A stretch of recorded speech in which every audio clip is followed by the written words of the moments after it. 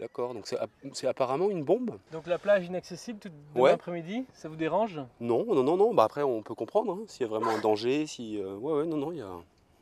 On peut, ça se comprend, quoi. Ouais, ouais. Les vacanciers du camping de Brickville commencent à prendre connaissance du programme. Pas de plage demain, pour cause de déminage. La bombe gîte ici, à 2 km au large, pile la distance de sécurité. La bombe doit être détruite sur place, à l'explosif. La plage va être interdite demain après-midi pour un déminage. D'accord. Qu'est-ce que vous en pensez? Bah ça fait peur, non? Nous tombons en plein dans la période touristique où nous avons la plus grosse population sur place. Nous avons euh, demandé effectivement euh, à la préfecture et principalement au groupement des plongeurs des mineurs s'il était possible de reporter cette opération au mois de septembre sur une période où en fait nous aurions eu un peu moins de population.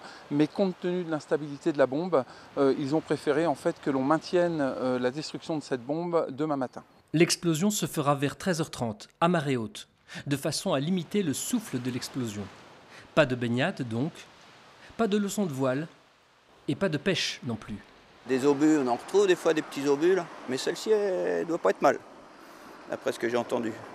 Si côté plage, on prend les choses avec calme, les ostréiculteurs et les conchiliculteurs qui ont leur parc à huîtres juste à côté de la bombe sont moins rassurés.